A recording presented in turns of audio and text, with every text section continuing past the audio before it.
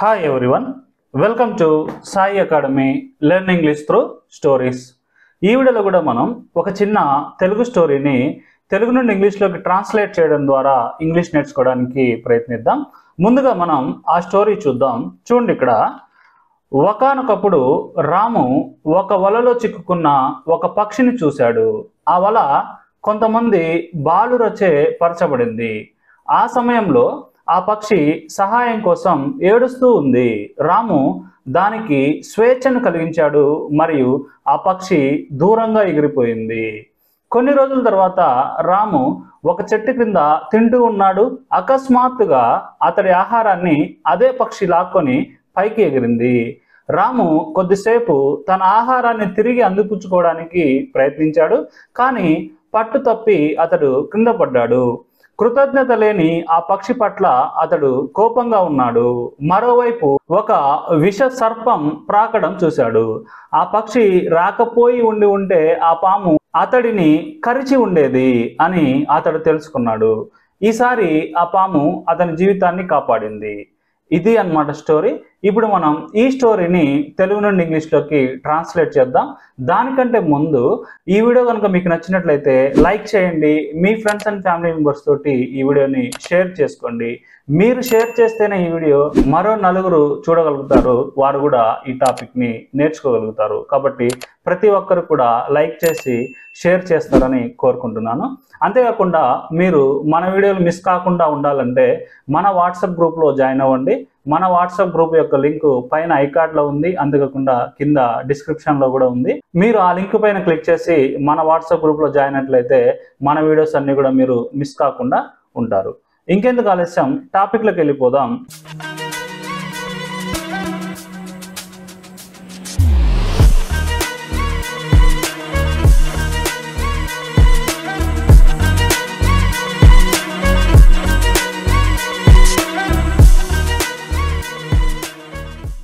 చూడండి ఇక్కడ. ఒకనొకప్పుడు ఒకనొకప్పుడు అంటే once upon a time once upon a time ఒకనొకప్పుడు రాము ఒక వలలో చిక్కుకున్న ఒక పక్షిని చూశాడు. ఫస్ట్ మనం ఏం నోటీస్ చేయాలి? సబ్జెక్ట్ ఏందని చూడాలి. సబ్జెక్ట్ ఇక్కడ ఎవరు? రాము. రాము ఏం చేశాడు? చూశాడు. ఓకే రాము చూశాడు. ఈ రెండింటిని మనం కలిపి రాయాలన్నమాట. రాము చూశాడు అంటే రాము సా రాము చూశాడు. ఏం చూశాడు? ఒక పక్షిని. రాము సా ఏ బర్డ్. రాము ఒక పక్షిని చూశాడు. ఆ పక్షి ఎక్కడుంది? చిక్కుకొని ఉంది. అంటే ఆల్రెడీ చిక్కుకొని ఉంది. Okay? Ramu saw a bird. Which caught. Caught అంటే ఇక్కడ చిక్కుకొని ఉన్నా లేకపోతే పట్టుబడి ఉన్నా అన్నమాట. ఎక్కడ? ఒక వలలో.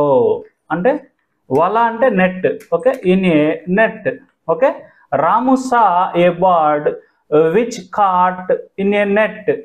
ఏదైతే వలలో పట్టుబడి ఉందో ఆ పక్షిని రాము చూశాడు. ఇది అన్నమాట ఇక్కడ విచ్ ప్లేస్లో మనం దట్ కూడా యూజ్ చేయొచ్చు? No issue okay Ramu saw a bird that caught in a net అన్న ఒకటే.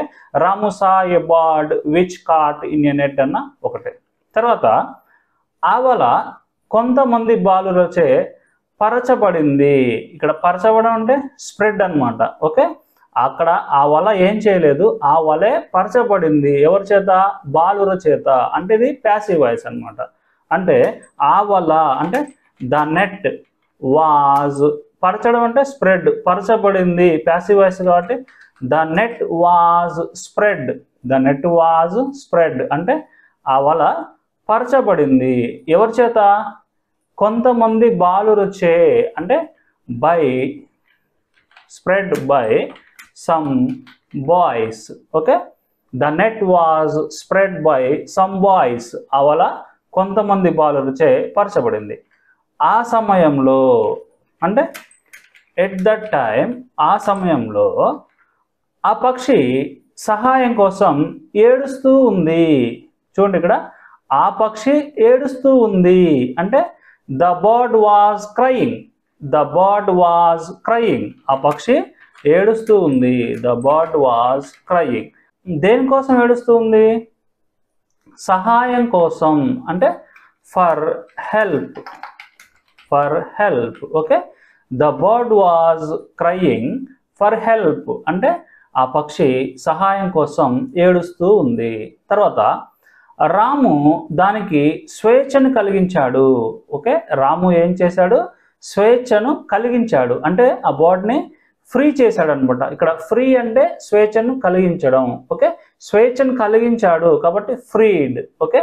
Ramu freed it. Okay? Ramu దానికి స్వేచ్ఛను కలిగించాడు. అంటే రాము ఫ్రీడ్ ఇట్. మరియు అండ్ మరియు ఆ పక్షి దూరంగా ఎగిరిపోయింది. ఆ పక్షి అంటే ద బర్డ్ ఎగరడం అంటే ఫ్లై అంటే ఎగరడం. ఎగిరిపోయింది కాబట్టి ఫ్లై ఫ్లూ అనమాట okay? The bird flew away దూరంగా ఎగిరిపోయింది. కొన్ని రోజుల తర్వాత కొన్ని రోజుల తర్వాత అంటే after a few days after a few days కొన్ని రోజుల తర్వాత రాము ఒక చెట్టు క్రింద తింటూ ఉన్నాడు. ఓకే రాము ఏం చేస్తున్నాడు? రాము తింటూ ఉన్నాడు. Ramu was eating Ramu was eating ఎక్కడ? ఒక చెట్టు క్రింద. Okay Ramu was eating under a tree ఒక చెట్టు క్రింద తింటూ ఉన్నాడు. అకస్మాత్తుగా అకస్మాత్తుగా అంటే సడన్లీ అకస్మాత్తుగా సడన్లీ లేకపోతే ఆల్ ఆఫ్ ఏ సడన్ అన్నా సరే అకస్మాత్తుగా okay suddenly or all of a sudden అతడి ఆహారాన్ని అదే పక్షి లాక్కొని పైకి ఎగిరింది. ఇక్కడ సబ్జెక్ట్ ఏంటంటే అదే పక్షి అంటే ద సేమ్ బర్డ్ అంటే ఇంతకుముందు ఏ పక్షికైతే అతడు హెల్ప్ చేశాడో అదే బర్డ్ అనమాట ద సేమ్ బర్డ్ లాక్కొని అంటే ఇక్కడ లాక్కోవడం అంటే స్వూప్ అంటే లాక్కోవడం. లాక్కుంది కాబట్టి swooped okay? The bird swooped the bird swooped ఏం లాక్కుంది? సారీ ద బర్డ్ స్వూపుడు ఏం లాక్కుంది? అతడి ఆహారాన్ని okay? The bird swooped at his food. The bird swooped at his food. అతడి ఆహారాన్ని అదే పక్షి లాక్కుంది. మరి ఇంకేం చేసింది? పైకి ఎగిరింది అండ్ ఫ్లూ అప్ పైకి ఎగిరింది. Okay? Once upon a time ఒకనొకప్పుడు Ramu saw a bird which caught in a net. అంటే వలలో చిక్కుకున్నటువంటి లేకపోతే వలలో పట్టుబడినటువంటి ఒక పక్షిని రాము చూశాడు. The net was spread by some boys. ఆ వల కొంతమంది బాలుర చేత పరచబడి ఉంది. ఎట్ ద టైం ఆ సమయంలో ద బర్డ్ వాజ్ క్రయింగ్ ఆ పక్షి ఏడుస్తూ ఉంది.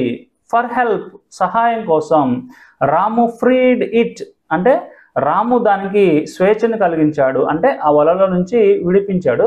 అండ్ మరియు ద బర్డ్ ఫ్లూ అవే ఆ పక్షి దూరంగా ఎగిరిపోయింది. ఆఫ్టర్ ఎ ఫ్యూ డేస్ కొన్ని రోజుల తర్వాత రాము వాజ్ ఈటింగ్ రాము తింటూ ఉన్నాడు. అండర్ ఏ ట్రీ ఒక చెట్టు క్రింద. సడన్లీ అకస్మాత్తుగా the bird swooped at his food అంటే ఆ పక్షి తన ఆహారాన్ని లాక్కుంది అండ్ ఫ్లూ పైకి ఎగిరింది.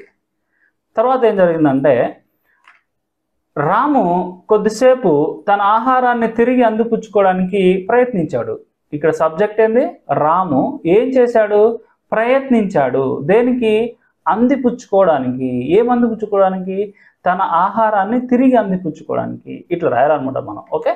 ఫస్ట్ సబ్జెక్ట్ రాము ప్రయత్నించాడు. అంటే రాము ట్రైడ్. రాము ట్రైడ్. రాము ప్రయత్నించాడు. దేనికి? అందిపుచ్చుకోవడానికి అంటే అందిపుచ్చుకోవడం అంటే గ్రాబ్ అన్నమాట.